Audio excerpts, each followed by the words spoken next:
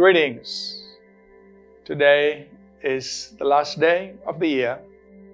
As we get ready to wrap up this year and a decade and get ready to step into a new year, we want to pray and speak God's richest blessings on you, God's guidance, God's direction, and may your steps be truly ordered of the Lord as you step in to a brand new year and a great new decade that's ahead of us. This week we've been talking about traditions, an unusual subject, and uh, reminding us that there are traditions we must stay true to.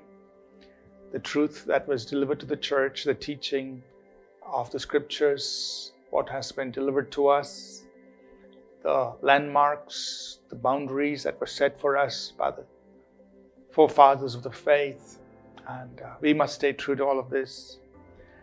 But I want to also remind us that sometimes tradition can blind us.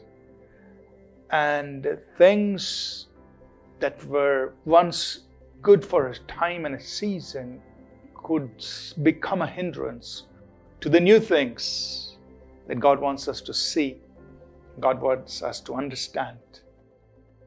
Read for us from Galatians chapter 1 and verse 14 when the Apostle Paul testifies, shares his own personal story. He says, And I advanced in Judaism beyond many of my contemporaries in my own nation, being more exceedingly zealous for the traditions of my fathers. So here's an example where traditions which once served a purpose over a certain period of time now became something that blinded, in this case, the Apostle Paul, from the revelation, the truth that was being revealed or right before his very eyes. And in this case, the person of Jesus Christ. So Paul is saying, you know, he was growing the tradition of his fathers and he was excelling uh, in, in, in, in, uh, in, in, Judaism, and he was getting, he was even better than all his contemporaries. He must have been an extremely good scholar, uh, a very learned person in Judaism. Uh, and th- those Jewish traditions, which served a purpose, unfortunately, in his case, at that time, blinded him. And he couldn't see the light of God and the glory of God in the person of Jesus Christ. So much so that he even persecuted those who followed the Christ until God, in his own sovereign and powerful way, had to shine his light to open up the eyes of the Apostle Paul.